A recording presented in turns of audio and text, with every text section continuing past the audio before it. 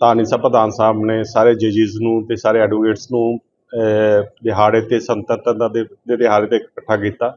ਮੈਂ ਸਾਰਿਆਂ ਲੋਕਾਂ ਨੂੰ ਵਧਾਈ ਦਿੰਦਾ ਬਟ ਸਾਨੂੰ ਇੱਕ ਹੋਰ ਆਜ਼ਾਦੀ ਦੀ ਲੜਾਈ ਲੜਨੀ ਪਏਗੀ ਕਿ ਪੰਜਾਬ ਨਸ਼ੇ ਤੋਂ ਗ੍ਰਸਤ ਹੈ। ਸਾਨੂੰ ਨਸ਼ੇ ਦੇ ਖਿਲਾਫ ਇੱਕ ਲੜਾਈ ਲੜਨੀ ਪਏਗੀ, ਜਿਸ ਤੋਂ ਅਸੀਂ ਨਸ਼ਾ ਤੋਂ ਮੁਕਤ ਹੋ ਸਕੀਏ। ਤੇ ਬਾਕੀ ਲੋਕਾਂ ਨੂੰ ਮੈਂ ਇੱਕ ਹੋਰ ਸੁਨੇਹਾ ਦੇਣਾ ਵੀ ਚਾਹੁੰਦਾ ਹਾਂ ਕਿ ਹਰ ਇੱਕ ਨਾਗਰਿਕ ਦੀਆਂ ਕੁਝ ਫੰਡਾਮੈਂਟਲ ਡਿਊਟੀਆਂ ਵੀ ਹੈਗੀਆਂ।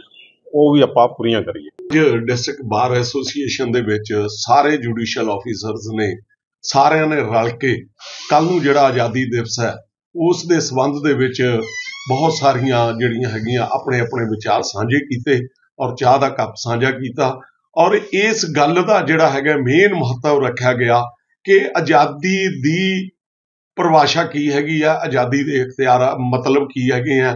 ਕੇਵਲ ਤਿਰੰਗਾ ਲਹਿਰਾਉਣਾ ਹੀ ਸਾਡਾ ਜਿਹੜਾ ਹੈਗਾ ਮਤਲਬ ਮੇਨ ਮਤਲਬ ਨਹੀਂ ਬਣਦਾ ਹੈਗਾ। ਸਾਨੂੰ ਪਤਾ ਹੋਣਾ ਚਾਹੀਦਾ ਕਿ ਇਸ ਤਿਰੰਗੇ ਦੇ ਮਾਇਨੇ ਕੀ ਹੈਗੇ ਆ।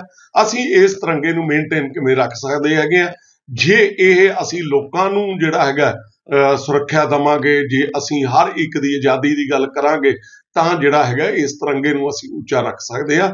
ਅਦਰਵਾਈਜ਼ ਮੈਨੂੰ ਇਹ ਲੱਗਦਾ ਹੈ ਕਿ ਬਾਕੀ ਤਾਂ ਫਿਰ ਤਕਰੀਨਾ ਵਾਲੀ ਗੱਲ ਹੋ ਜਾਊ। ਡਿਸਟ੍ਰਿਕਟ ਐਂਡ ਸੈਸ਼ਨ ਜੱਜ ਫਤਿਹਗੜ੍ਹ ਸਾਹਿਬ ਨੇ ਔਰ ਬਾਰ ਐਸੋਸੀਏਸ਼ਨ ਨੇ ਅੱਜ ਰੋਟਰੀ ਕਲੱਬ ਵੱਲੋਂ ਇੱਕ ਲਾਇਬ੍ਰੇਰੀ ਦੇ ਵਿੱਚ ਕੂਲਰ ਲਾਇਆ ਗਿਆ ਪਾਣੀ ਲਈ ਔਰ ਅਸੀਂ ਉਹਨਾਂ ਦਾ ਵੀ ਧੰਨਵਾਦ ਕਰਦੇ ਹਾਂ ਕਿ ਉਹਨਾਂ ਨੇ ਇਹ ਜਿਹੜਾ ਹੈਗਾ ਆਪਣੀ ਜਿਹੜੀ ਸੋਚ ਹੈਗੀ ਆ ਉਸ ਨੂੰ ਬਰਕਰਾਰ ਰੱਖਿਆ।